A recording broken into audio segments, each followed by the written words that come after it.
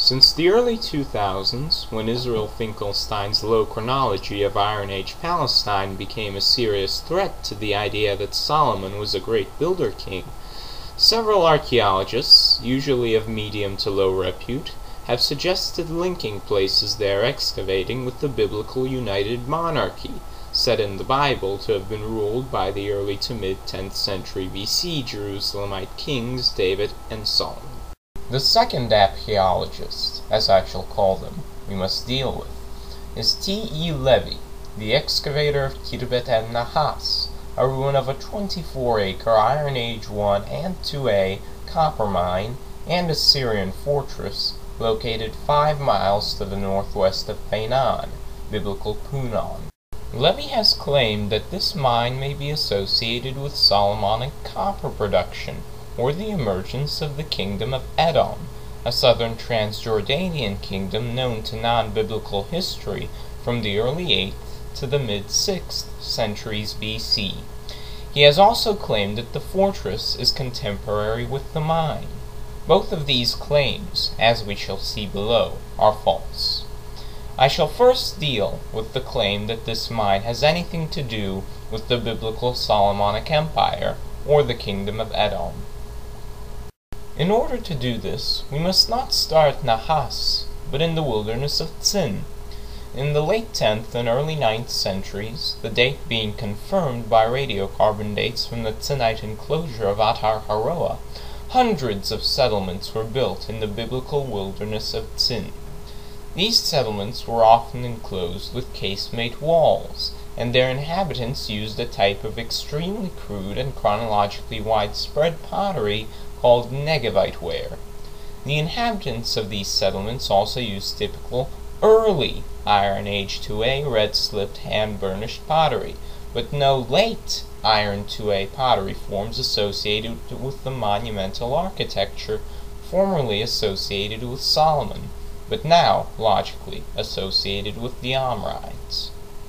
What caused this massive wave of people to settle in an area so hostile to productive settlement as the wilderness of Tzin? There is no evidence of any refugee crises in the Negev in the transition between Iron Ages 1 and 2A, and the Arabian spice trade was not a cause of massive settlement in the wilderness of Tzin in the later Iron Age. The answer is thus, most obviously, the benefits the wilderness of Sin received from the booming Iron Age 1 to 2A Arava copper trade. Khirbet en-Nahas was the largest Iron Age copper mine in the Arava. But what political entity controlled the Khirbet en-Nahas copper mine? The answer must lie in Khirbet en-Nahas's radiocarbon dates and its pottery. Typical Iron Age 1 pithoi, including some collar-rimmed ones, have been found at Khirbet en-Nahas in notable quantities. This indicates Khirbet en-Nahas was founded in Iron Age 1. The radiocarbon dates are also consistent with this assertion, placing the founding of Iron Age Khirbet en-Nahas at around 1000 BC, when the Iron Age 1 was still taking place. But what polity could have ruled this Iron Age 1 copper mine? Levy and Najjar once suggested it was the biblical kingdom of Edom. While there was some Iron 1 settlement on the Edomite plateau, no Iron Age Edomite site yet surveyed or excavated gave any indication it was in any way connected with copper working. Indeed, the great settlement wave in the early Iron 2A Levant took place in the wilderness of Tzin, along the routes to Egypt and the Gaza Strip, while not a single sherd of iron 2A pottery has been discovered on the Edomite plateau. Thus, we are left with a western origin for the political entity that ruled Khirbet en-Nahas. The closest Iron Age 1 settlement to the west of Nahas with the capability to rule a political entity of any significance is Tel Masos, a 15-acre site at the western outlet of the Mamses Road between the Arava and the Beersheba Valley. The site was first inhabited after a nearly 2,000 year occupation gap in the Iron Age I, rose to its settlement height in the early Iron 2A, and was abandoned soon after the transition between early and late Iron Ages 2A to be resettled as a small Judahite fortress in Area C. Strong evidence of copper working was found at Tel Masos. A copper crucible was found in a building in Area C, and a copper workshop with remains of copper ore was found in a building in Area A. Thus, it makes good sense to postulate that it was the political entity centered at Tel Masos which controlled the Khirbet en-Nahas copper mine. The Tel Masos polity was separate from, but related to, the phenomenon of the massive early Iron to a settlement of the wilderness of Tzin.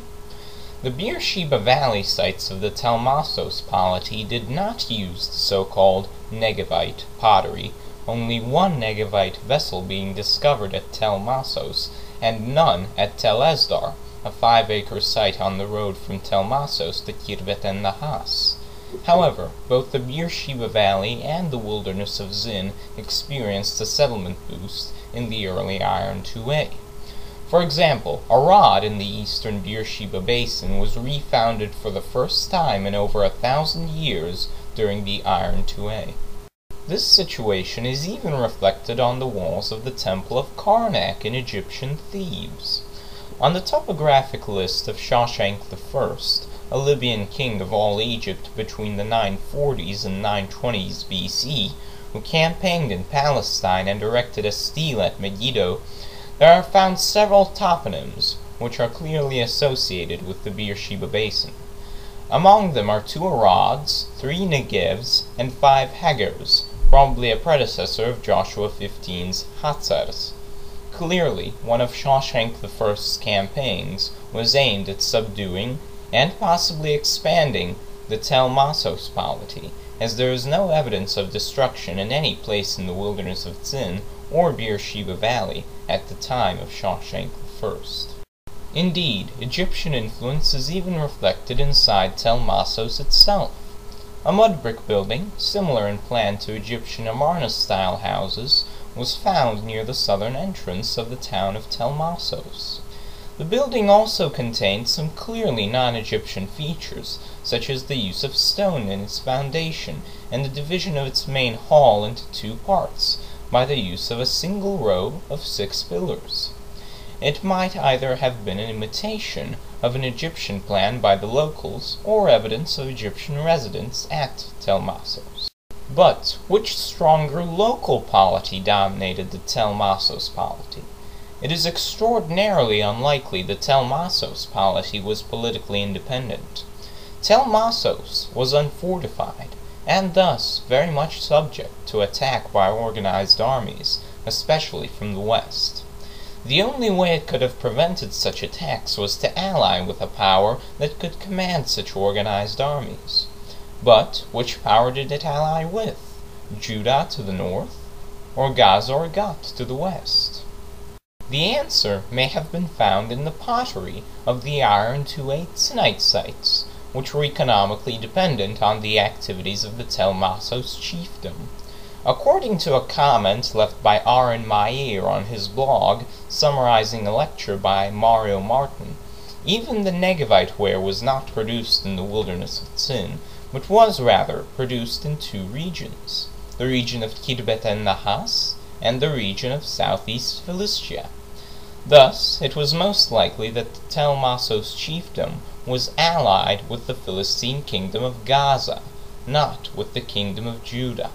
Thus, it is clear that Levy's assertion that the Khirbet en-Nahas mine was under the control of the united monarchy of Israel and Judah, or the kingdom of Edom, is false. The political entity that controlled the earlier phase of the Khirbet en-Nahas mine was a Beersheba Valley-centered chiefdom, with roots in the Iron Age I, most probably allied with the lesser power of the Kingdom of Gaza and the greater power of post-New Kingdom Egypt. However, the story of Khirbet en-Nahas does not end with the Tel chiefdom. According to the radiocarbon dates on the site, production at Khirbet en-Nahas continued down to the end of the 9th century BC. The Tel Masos chiefdom collapsed in the late Iron IIa, due to a resurgence of copper production in Cyprus and good Omride relations with the Phoenicians, who had the dominant economic position over Cyprus.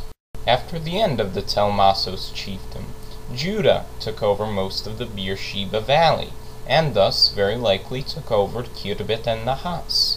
This situation is likely reflected in the Bible, as Jehoshaphat is said there to have ruled over Edom, and have set up a deputy as king. According to the Bible, Judah lost its control over Edom in the year 848 BC, or soon after.